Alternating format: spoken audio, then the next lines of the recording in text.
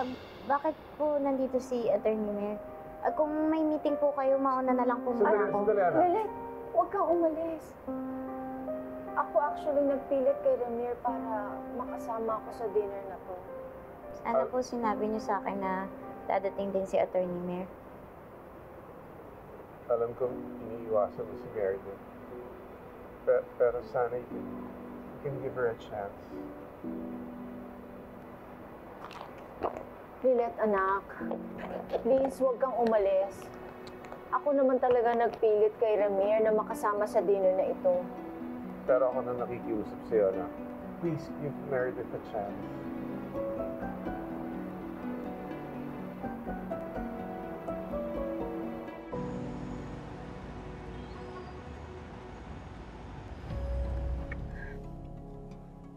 Mabuti naman at pumayag kang lumabas na kasama ko. Alam ko maraming problemang nangyayari sa pamilya natin. At ikaw ang lubos na naaapektuhan sa mga nangyayari sa amin ng daddy mo. Kaya gusto ko kalimutan muna natin yung problema natin. How can we forget? If nandito tayo sa paboritong restaurant ni Dad. Eh, paborito ko rin naman yung restaurant na ito eh. You know what, Trixie? Let's not talk about your dad muna. Why? Does this mean makikipaghiwalay ka na talaga sa kanya? Of course not. I'm just preparing myself dahil alam kong papasok ako sa giyerang gusto kong maipanalo.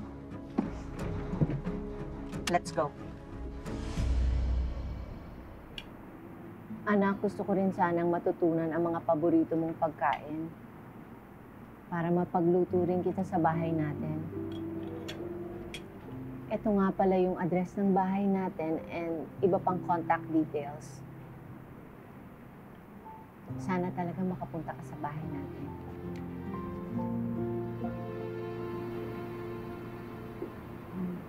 Attorney Mayor, alam ko naman po na busy kayo sa Keystone eh.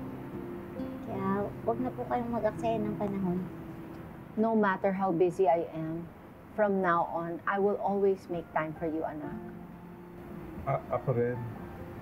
Ilang taong kitang kasama sa bahay pero hindi man kita naalagaan bilang tatay.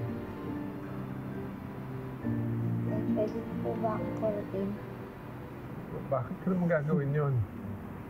Gusto ko lang po kasi makasigurado na gising ako at totoo talaga nangyayari to. Ang hirap po kasing paniwalaan na kasama ko ngayon yung nanay at tatay ko eh.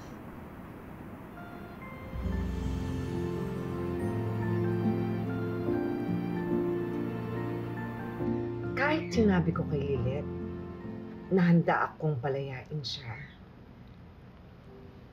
may takot pa rin talaga eh. Hindi maalis sa sarili ko yung takot na baka isang araw wala na si Lilet sa poder ko. Tanggapin na lang natin na pwedeng mangyari yun. Kasi nandiyan na yung magulang niya eh. Nandiyan na si Sir Ramil tsaka si Lady Justice.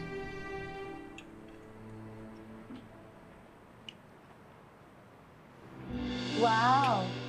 Let's give a round of applause for Little Bear. Dahil natupad na rin ang pangarap niya na makasama ang Papa at Mama Bear niya. Ano, perfect family na kayo, ano?